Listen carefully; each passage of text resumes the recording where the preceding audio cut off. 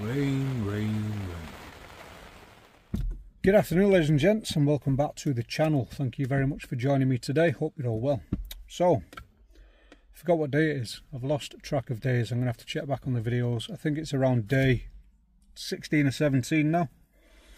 Um, I've done the usual this morning. I've checked all my emails, hoping that I may have received some news from the emergency housing letter that I'm waiting for us to be bumped up to band one. Nothing uh, so far. I have though logged into my local housing association uh, website and I've bid on three properties uh, this morning in the local area. So fingers crossed. Um, you know that's all we can do. Hope we hear something back from them. But I think this is the 11th property um, we've bid on now and we've heard nothing back so far. I have spoke to young Jago uh, this morning. If you haven't seen the community post, please go and have a look at that. So we've been on here now for around two and a half weeks. And for the last week, we've seen a young lad just wandering around campsite. Um, he's been polite enough to let on to us because we are pretty much um, situated near a gate where he has to walk past us uh, whenever he's leaving the site. So we've let on to each other for the past few days. And yesterday I just caught with him. I just said, um, how long are you here for, pal? He says, uh, I'm here till Friday. Um, and then I, I, might move my tent over here. Proper nervous. so I said, Are you homeless, pal? You went, Yeah. Yeah. Why not? Never mind, mate. So we. We're all in the same boat. So it turns out the young lad did have a job. He lost that and couldn't afford to pay his rent. Um, his rent was £650 a month for a one bedroom apartment. Um, obviously, you can't pay that with no job. And he wasn't eligible for benefits at the time, so um, the only thing he could do was go and ask his um, nana and granddad for help. Um, turns out they're actually paying for him to stay on the site, which is very, very kind of them. But he is camping in a 27 year old tent. Um, I went over today just to have a look at it. Um, we did have some rain last night, some heavy rain, um, and apparently the tent is still dry, so he's pretty sheltered from where he is anyway. He's got a lot of tree canopy sticking over him, which is good. Um, it's not got the little lad down though. 21 year old. And this is how much full of pride uh, the lad is. When he did become homeless, he left his actual town because he didn't want anyone, including his friends or family, knowing. And he actually went down into Manchester city centre um, and spent a few days there. The story he told us, he actually um, he went into woods and he found a mattress base and he spent a couple of nights there with a tarpaulin and just pulled it over him. Absolutely heartbreaking.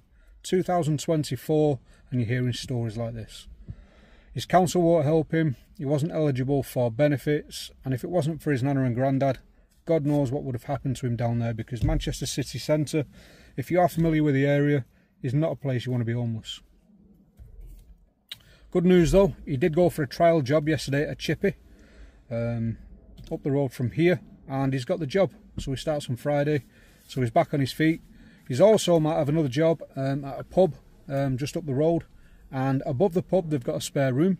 So fingers crossed, um, if all goes well for him, he could have two jobs to make up his rent to pay for that room, and that would be absolutely amazing. Absolutely. Um, update on the caravan, ladies and gents. We were meant to be receiving the caravan today. Unfortunately, I got a text off Tony this morning to inform us.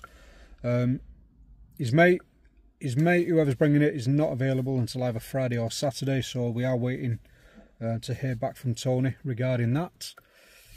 I have literally been waiting around camp all day for a phone call from Occupational Health, as I am not in work at the minute. Um, and I got an email telling me it was tomorrow. And it's always been tomorrow, but I thought it was today, so I've absolutely wasted loads of time this morning waiting about camp, although I have done some camp admin, tidying up, sweeping out um, and I've had to give my head a shave because I haven't got enough hair for a proper haircut and um, this is much neater and more hygienic.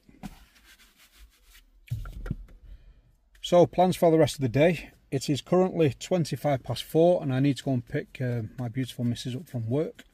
And then on a Wednesday, it has been tradition for a long time um, when we've had a home that my father comes and has tea with us or we go out for tea with him. Um, obviously, we can't have him back here because you have got to pay for visitors. Um, not that I mind paying for him at all, but there's nowhere for him to sit. Um, so we are going to take him out for a cheap tea tonight um, and just have a catch up because he really, really has helped us out um, during these times. So I'll report back um, maybe tonight. See you soon. Bye bye. Hi, darling. Hi, okay. Yeah, you. Oh.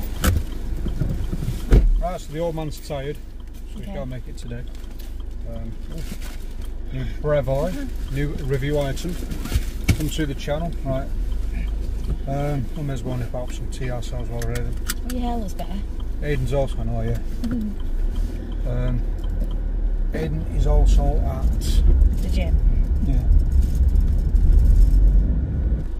Well, bid on free properties today.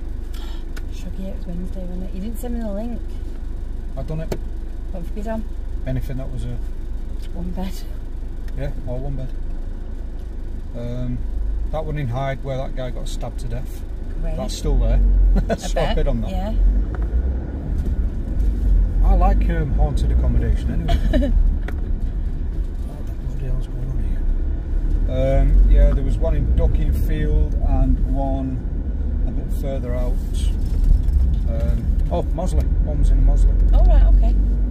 So you've been managing with buses so far, right? Yeah, absolutely, yeah.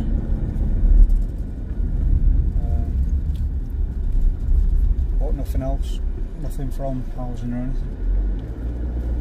So we're on band one now? Nope. No. I think tomorrow I'll have to ring them and check. Said 10 days and we was 8 days into it, weren't we? Yeah. 10 working days.